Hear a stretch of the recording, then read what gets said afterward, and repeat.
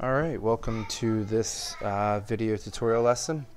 Uh, it's on operations with radical exponents. So what we're going to do in this particular video is we're going to go back to uh, just operations with exponents. So I'm going to review here the power rule, uh, the product rule, and the quotient rule. So that's what you're going to need to be able to do these. Um, except now we're going to be doing them with rational exponents, which we learned the other the other day, which was um, uh, fractions for exponents. So here we go. Let's go through these really quick.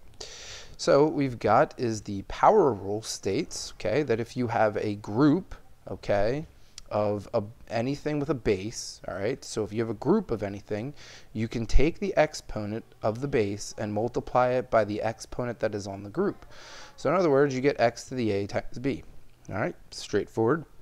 Uh, product rule. So product rule states that if you have a base and you're multiplying it by another group, okay, that also has the same base, what you can do is you can take the a and the b here, so it's just representing their exponents, and you can add them.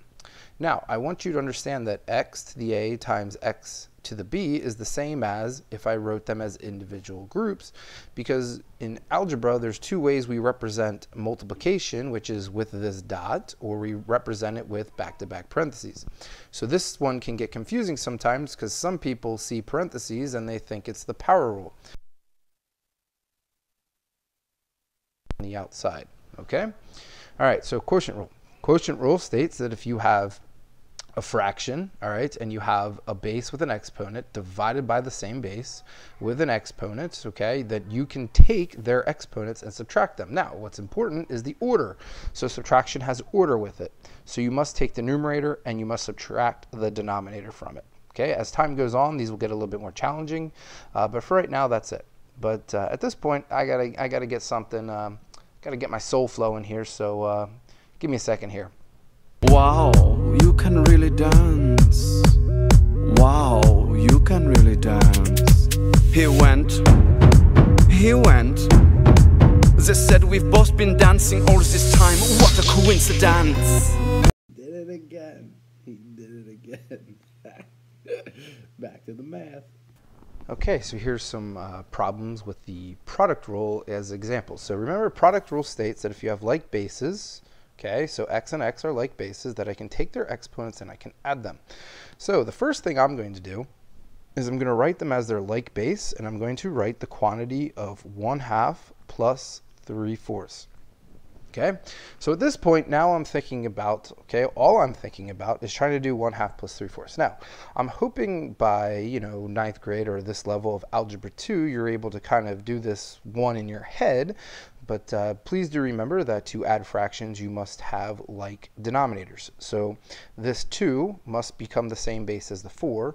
So 1 half can easily be turned into something with a base of 4, okay, just by multiplying top and bottom by 2. So what I get is x to the 2 fourths plus 3 fourths. And now all I have to do is add my numerators together, and I get x to the, sorry, x raised to the 2 plus 3 is 5, all over 4. And at this point, I'm now done. I'll leave it just like that. Okay, next example. So next example, a little bit more challenging because you have 1 eighth and you have 2 thirds and those denominators okay can't be immediately turned into the other one like the one could before but don't worry you follow the same process so I will take x as my base and I will write the quantity of 1 eighth plus 2 thirds Okay, and now at this point, if you really want to do it the easy way, you could just jump to your calculator, but if your teacher requires you to do this by hand, you're going to have to know that in this particular one, okay, when you're doing like denominators, you just need to have the same factor. So the quickest way of doing this is swapping the 3 and the 8 with one another, and you'll end up with something that looks like this.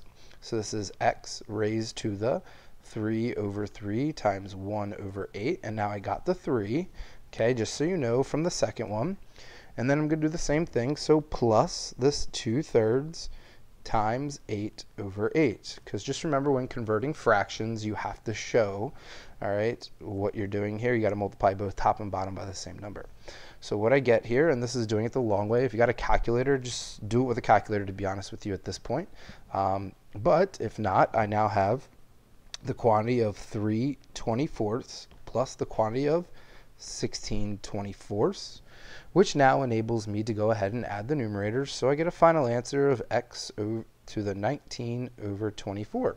And we can leave it just like that because we're doing operations with exponents that are rational, so we leave it in exponential form. Okay, on to the last example here. Okay, so now this is the power rule, so let's go on to this example. So the power rule states is pretty simple, okay, that if you have a group that is being raised, okay, so I have a group that's being raised to a power, what I can do is I can take every base on the interior and simply multiply the exponents of theirs times the one being raised by the group. So what I will write here is I will write x and I will take 1 fifth and multiply it by 4 thirds. And it does help to write it out. I would show this little step in work because as it gets more and more, you don't want to get confused with it. Okay, so here we go. When you multiply fractions, though, just remember multiplying fraction is just numerator times numerator, denominator times denominator, and you're left up with 1 times 4 is 4, and 5 times 3 is 15. And there you go, you're done. Okay, just another example. Now I just gave you some more variables. I didn't just use uh, one this time. So, so here we go. All right. Now, in this example, same thing. I'm going to write x, that's my first base, and I will write 1 half, and I will get to multiply it by the, the exponent on the group. So I get to multiply this by 10 thirds, and then I will take y, and I will do the same thing with its exponent, okay? So its exponent also gets to multiply the exponent on the outside. Some people like to call this shorthand script for distribution of the exponent, okay? So at this point, I'm just going to clean up my work and do some things. So if you want to do multiplying, it's a matter of you how you do it, but I am old school, so doing this by hand, what I will look for is factors in either of the denominators of my fractions that simplify with any factor that's in the numerator. So in this first one, what I notice is that 2 can reduce with 10. So what that leaves me with is that 2 and 10 reduces to 5 over 1. And now at this point, I will go ahead and multiply this one. So x equals 1 times 5 is 5, and 1 times 3 is 3 in the denominator. Okay, so moving on to the next one. Okay, so the next example has 3 fifths times 3 fifths times 10 thirds. And again, I will look for factors in the numerator that could reduce with factors in the denominator. And one of the things I see very nicely right away is that 3 reduces with 3 and it becomes 1 over 1. And I also notice that 5 reduces with 10, okay, and uh, 10 over 5 becomes 2 over 1.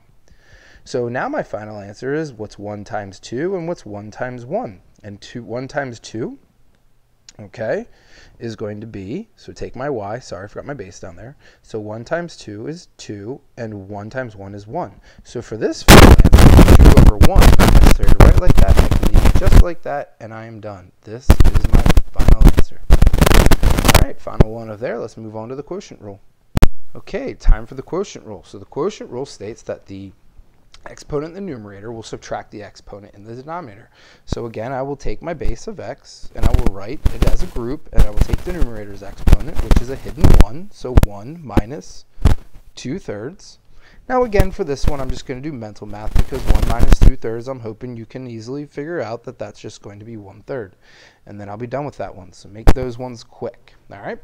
And on to b. So b has x to the 4 thirds divided by x to the 1 sixth. So I notice like bases, so I will take one base, and I will write the quantity of the numerator subtracted by the denominator. Okay, and now for these ones again, I notice that uh, the denominators are different, so I do have to make them like. So in this case, I can kind of do this one by hand kind of quickly, just by multiplying top and bottom by 2. And what I will get is x equals, so this becomes the quantity of 8 6 minus 1 6, which leaves me with x over to the 7 6, and then I will be done. So there that is. So um, I know I went kind of quick here, but I'm trying to make this video a little bit shorter uh, than the last one I had. So the next page we're going to have is just examples. And here are some of your example problems that I want you to try. Um, go ahead, go through them, and uh, if you have any questions, just reach out to me and let me know. All right?